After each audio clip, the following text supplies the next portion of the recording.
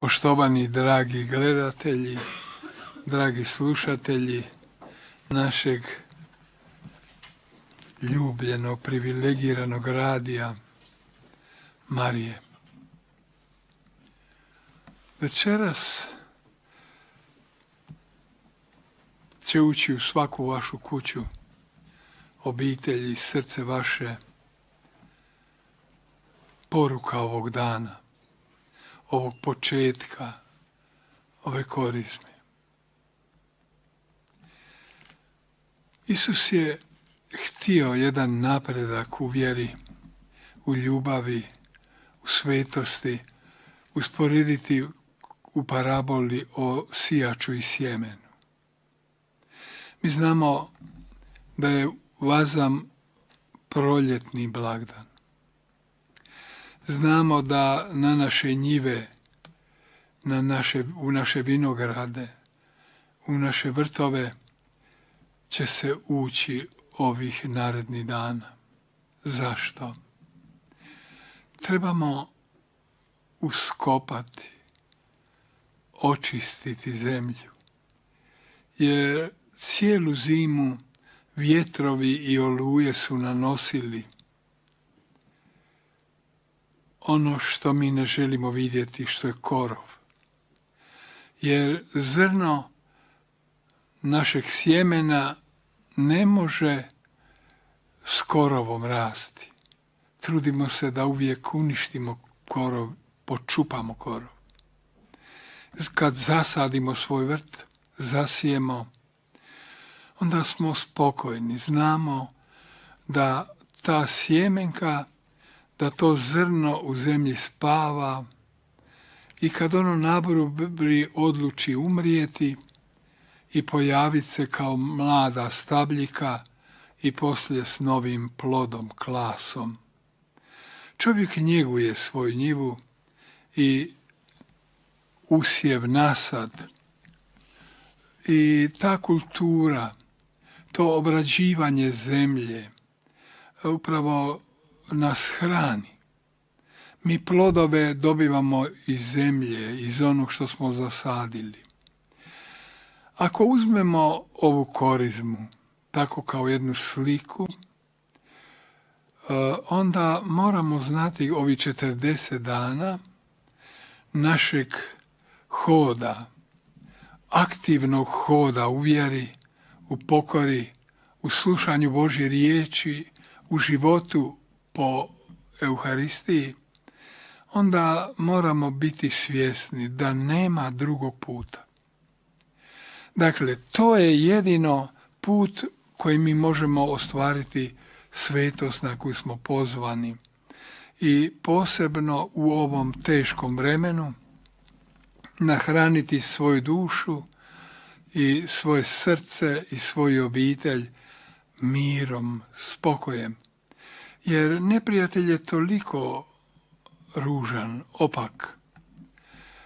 Ukrajinci se nisu nadali agresiji, ali Đavao je našao prolaz do komande pucaj, pali, uništavaj, progoni.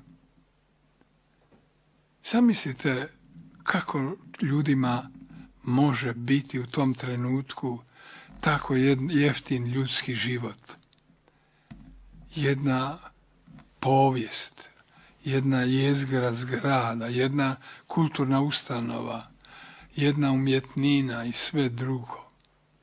Tako smo slabi. I u svemu tomu, svakom onom ranjenom zidu, ljudskom srcu, u svakom onom zlu koje je nanešeno, ostaje trag i biljeg, jedan zov veliki, zla. I mi moramo se zaštititi. Kako? Baš kao i u vrtu. Ne dati korovu da raste, jer to prenešeno u svako srce možemo se dati, predati grijehu, sotoni, đavlu. I u zadnjoj poruci Gospa govori baš upravo o tom jadu koje može snaći ljudski rod, a to je bilo prije samog rata. Šta nam je kazala 25. veljače? Draga djeco, s vama sam i molimo skupa. Pomozite dječice molitvom da Sotona ne prevlada. Da ne prevlada. Meni ta riječ šokirala me je, znaš, ono, kad vidim ruši se svijet koji su stoljeća gradila, gradovi, povijest. I u toj zabludi drži jedan čovjek svoj narod, obećavajući im da s druge strane dolazi zlo, a ne preko njih. Preko tih strašnih, smrtonosnih oruđa. Tako ovdje Gospa nas uči da molitvom mi možemo kazati đavlu stani, od, iziđi, odstupi, da on tako ne prevlada. Dakle, svaki naš korizmeni post jedno odricanje jedna milostinja, jedno dobro dijelo a ti dobri dijela je zemlja željna, ljudsko srce je željno. Mi smo već postali, kako reče papa, jedan stari kontinent. I ti stari svi mi čekamo od mladih jednu lijepu riječ, jedan osmijeh, jedno služenje, pomoć. I to je milostinja. A zamislite, što imamo mi podijeliti kad kaže gospodin stavio sam, dao sam ti. Ne da ti samo imaš već da podijeliš, da daš. Sveti Bazilije kaže i sveti Leo Veliki, lav, papa, to što nosiš i držiš u ruci, e, želiš dati siromahu, to je što sam ti ja dao da mu predaš, što pripada njemu. Podaj mu. Podaj mu. Dakle, mi smo e, jedna zajednica, crkva, tijelo gospodinovo, da prolazeći ovim svijetom zaista činimo dobro. Bez straha. Kome ćemo dati potrebno. I zato da ne prevlada u nama sotonska misao, nek svak sebi radi, neka svak zarađuje, ne. Korizma je kad padaju te riječi i više se nikad ne, ne smiju pojaviti u našem srcu. Jer, kaže gospod, moć sotonina je moć smrti. To je moć mržnje, straha. I to je pohodilo ovu zemlju. I svjedoci smo. Zato, djeco, vratite se Bogu i molitvi, postu i odricanju. Da, sjećam se od samog početka, kad je gospa donijela poruku posta da je stavi u naš život. Bilo nas je strah. Ti ne znaš je li više špijuna pri crkvom, u crkvi ili vjernika. Više ne znaš ko koga špijunira, ko koma bilježi auta, što te se sprema nešto veliko onda da ljudi ne dođu do jednog e, konflikta s tim koji prebire, s tim koji baca krunicu, trga krunicu. Pribire tašnu da uzme gospođi krunicu, djevojci krunicu iz svrata. Trebalo je sačuvati blagost, dobrotu i podnijeti to poniženje. Kospa da nas, da se to ne pretvori nama u strah, u teror, kaže pozivam vas, postite i molite. Ja sam završio taman kao sada svetu misu i u crkvu je došao vidjelac, Jakov, i kaže imam poruku. Ja sam ga stavio na oltar jer je bio mali. On je rekao, danas se ukazala gospa i rekla je, postite. Spustio sam ga i upitao narod da li smo razumjeli, da. Što ste odlučili? Sve ćemo učiniti što ona traži. Braćo i sestre, ona ne traži što mi ne možemo. Ali je važno da počnemo danas i da ne odustanemo. I kad mislimo da napasnik je uspio zaustaviti me i nervoznim učiniti, umornim učiniti, ja mu trebam kazati ne sotano. Ja sam odmoran, ja ću nastaviti moliti. Ja sam odmoran, ja mogu uzeti Bibliju, uzeti ću novi zavjet, dakle otvoriti ga da čujem što mi to gospodin govori. Soton odlazi. Jer treba se znat boriti sa Sotonom. Jer mi nismo pametniji ni jači od njega, ali s Bogom jesmo. S Bogom jesmo. I zato je vrlo važno da mi znamo to. I ta naredba veli Sveti Bazilije da se posti, još je dana najprije Adamu, kad kaže nemoj jesti. Sa zabranjena stabla nemoj jesti. On vidi tu prvi poziv na post. I to su onda poslije sveti oci, a naposlije sveti krizolog objasnio. Vjera stoji, veli on, na molitvi, postu i milostinji. Ako nemaš svi troje uvezano, skupa, da ti je to narav, da ti je to potreba, nije dobro. Ali ako misliš da može jedno bez ovih dvoje, bilo da je to molitva i post, da ono, to nije onda prava milostinja. U onom duhu u kojem danas Isus uči. Nek to bude u skrovitosti srca, a ne ono od žalosti, od nervoze moram dati evo, poput crvenog križa, pustiti nekoga u kuću i sl. Mi danas počinjemo korizmu i vrlo nam je važno da ove milosne riječi Isusove i crkve kroz korizmu koje budu se sijale po nama u našu dušu i život ostanu, donose plod i mijenjaju naš život. Kad nikne žito na njivi, onda se to vidi. Obrađena je njiva i zasijana. Kad ono proklasa i požuti klas je postane zlatno, tada se još bolje vidi. I sa zahvalnošću upiremo pogled u nebo i kažemo Bože, hvala, to je tvoj dar. Braćo i sestre, krepost treba živjeti i pokazati. I zato je vrlo važno da s molitvom kucamo na vrata Božje ljubavi, Božjeg milosrđa, a s postom, dakle, čistimo i peremo svoju dušu, svoje srce od svakog korova, od svakog grijeha, od svake zle sklonosti.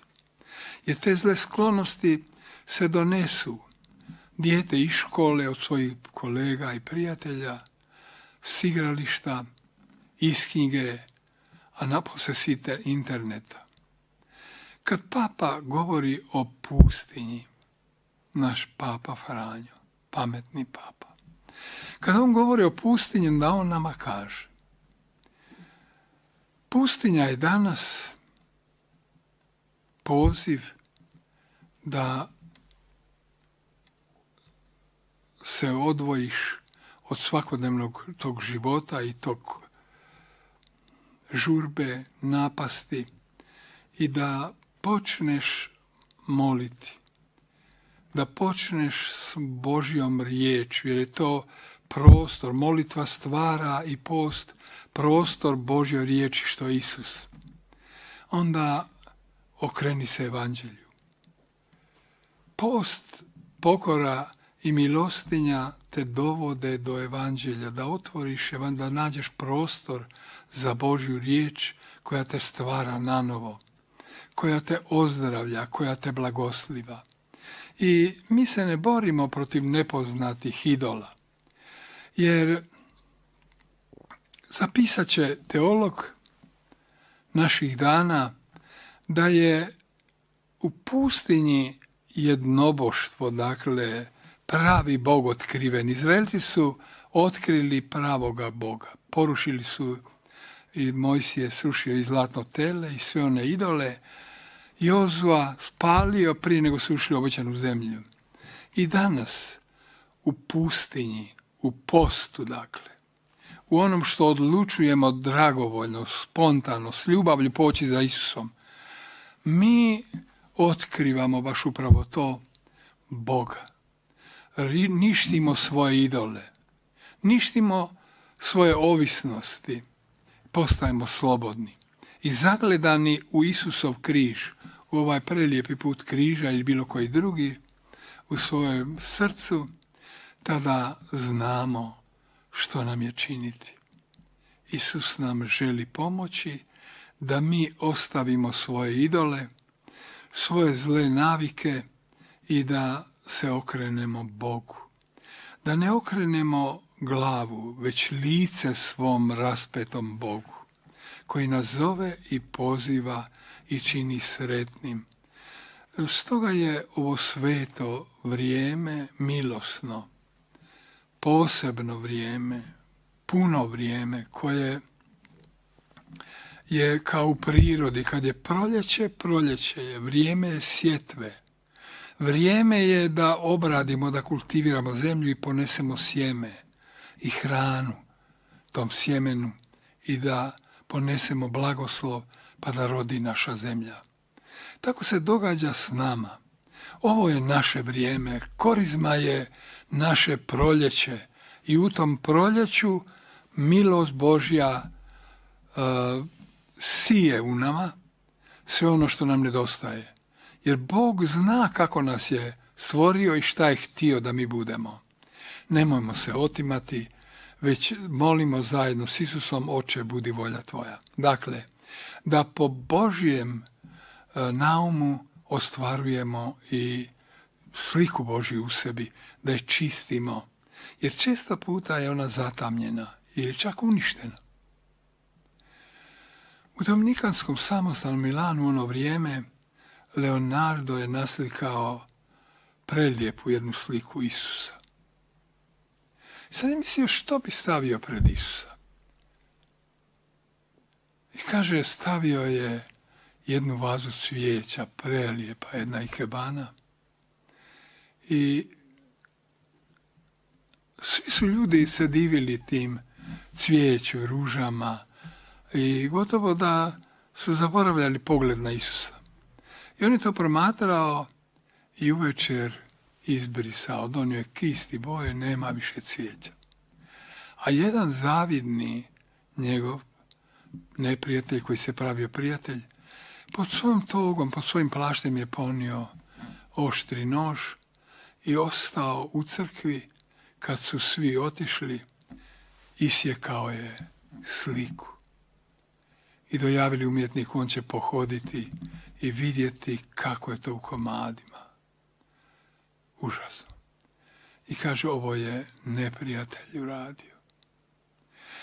Tako se dogodi kad vidiš ti očima svojim čovjeka koji je poderao svoje dostojanstvo, razbio, nesliči, nije nalik na kršćanina, na roditelja, na vjernika, na čovjeka.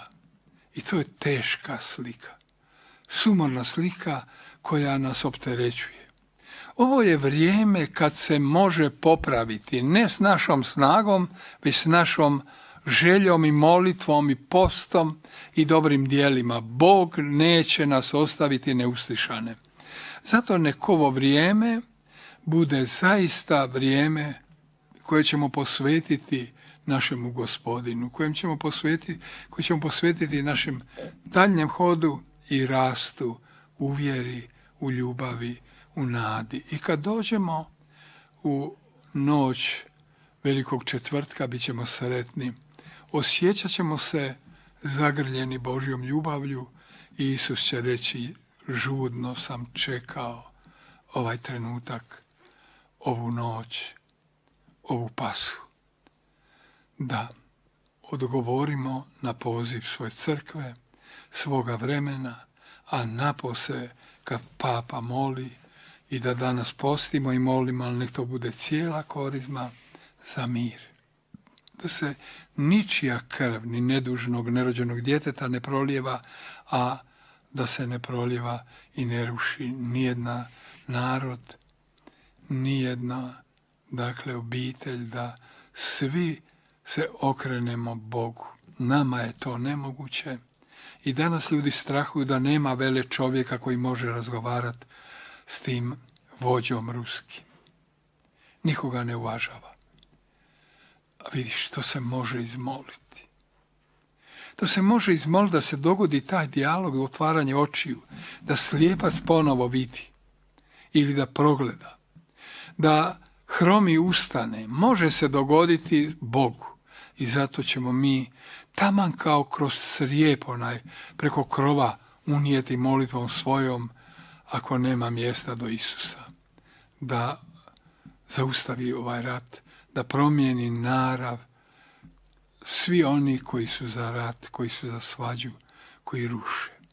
Gospodine, mir je tvoj dar. Ti ga daruješ, a mi ga molimo. Daruj nam ga. Amen.